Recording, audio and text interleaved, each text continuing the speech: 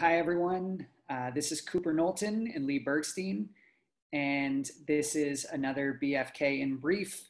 Um, we're hopping on here tonight because we wanted to give you a brief uh, explanation of a recent decision that was handed down in the, it was the commercial division in New York. Is that right, Lee? Yep.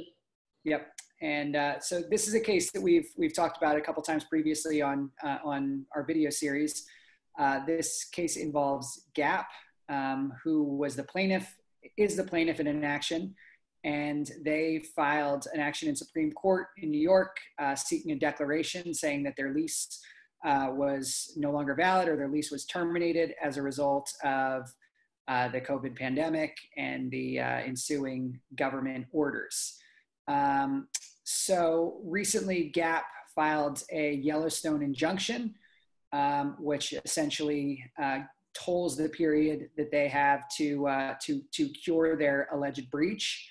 Um, and this Yellowstone injunction was was just ruled upon um, by a judge in New York, and we thought we'd give a brief. Uh, Lee's going to share a couple quick thoughts on uh, what the judge said and what the implications are uh, of the judge's decision. Yeah. So, um, you know, not not any major news, but you know, we're looking for any uh, anything that kind of impacts our clients' uh, respective rights and liabilities right now. And GAP is one of the cases that we've been keeping an eye on. So this is not a ruling as to the ultimate issue of the case you know, GAP's theory of the case was that the purpose of the lease had been frustrated, but that's not what was at issue in this motion. They were seeking a Yellowstone injunction, and um, the the defendant, the landlord, was opposing on on several grounds. Some of them were procedural.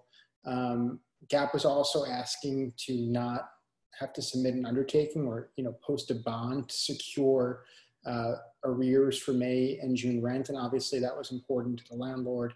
And that's really the piece of, of the motion that we were looking at. Was the court going to require them to um, post an undertaking, which is fairly typical uh, in the context of Yellowstone injunctions. But here we're talking about you know millions of dollars in an undertaking, uh, so more significant than perhaps other other uh, types of leases. Gap obviously has a huge property with a very um, expensive lease in, in, a prime location.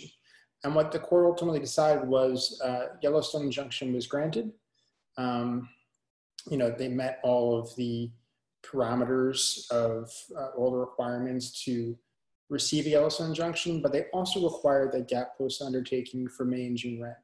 And what's significant and what many landlords are pretty happy about is the court went so far as to kind of assign a, a number to what that undertaking should be. And it, they said it should be uh, July rent with a 10% reduction to cover May and June.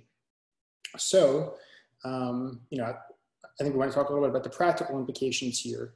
Um, and to kind of glean anything from the judge's thinking, um, we kind of look at the amount that the judge set as the undertaking. And it seems, based on the number that the judge put forward, that the judge values use and occupancy at market rate less 10%. This could have been an opportunity for the judge to say, um, it's too hard to determine what the market rate is given the ensuing pandemic. We're not going to require an undertaking. That's not what happened here. So uh, it tends to you know, I'm not going to say definitely, but it tends to kind of showcase the judge's thinking with respect to whether or not, um, at least moving forward, the lease is valid. There might be a different perspective with respect to May and June when we were at the height of the pandemic, and um, you know, the, the store couldn't open at all. I think it's also significant to to keep in mind that we are talking about a, a huge corporation like Gap, and I, and and I think it's definitely significant that the judge was definitely you know when the when the judge is is asking the, the corporation to put up a uh, you know I, believe it's a five million dollar bond um, you know it's a little bit easier to ask a company like Gap to do that than um, you know a, a, a, lot of the clients that we're working with um, who who you know may not be able to pay a couple months rent because the the business model has been so so frustrated so um, you know, it is a little bit of a different scenario than than a lot of the the smaller tenants that that we we sometimes are chatting with. Sure. I mean, we're following Gap, we're following Victoria's Secret, we're following those because those are the big Absolutely. cases and uh, a lot of you know how landlords and tenants are going to proceed from a litigation perspective is going to depend on what happens in cases like that. But you're right. The the landlord in this case uh, made certain arguments with respect to the undertaking about GAP's financial viability, and clearly GAP is still financially viable. Sure, the pandemic has had a significant impact on them the same way that it's had an impact on every other retail tenant in New York City and all across the country. But um, unlike other smaller businesses that have one or two stores or you know even three or four locations uh, and really depend kind of on a month to month basis on the income they generate from those stores being open.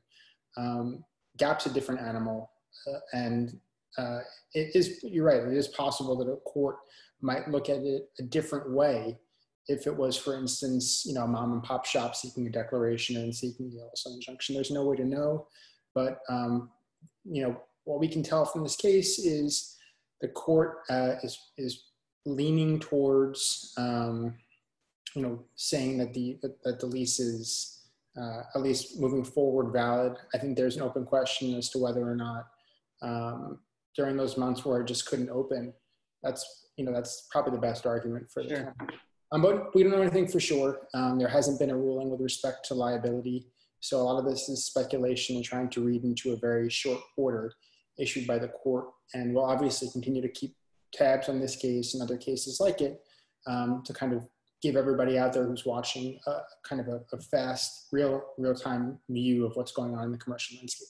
It does. It does seem like this case is moving quicker than a lot of the other ones. I saw there's a preliminary conference set for later this month. So um, I think the, the, the landlord tenant cases that are finding their way into Supreme Court they're going to make an effort to move them a little bit faster than, for instance, you know, a breach of contract case that doesn't involve commercial property because every month the landlord's losing money. Right. And potentially could be on the hook for liability that doesn't know whether it is or not.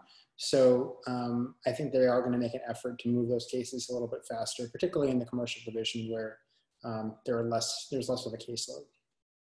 Gotcha. All right. Well, thanks so much, Lee. Thanks, Cooper. Thanks for doing this after hours. Take care.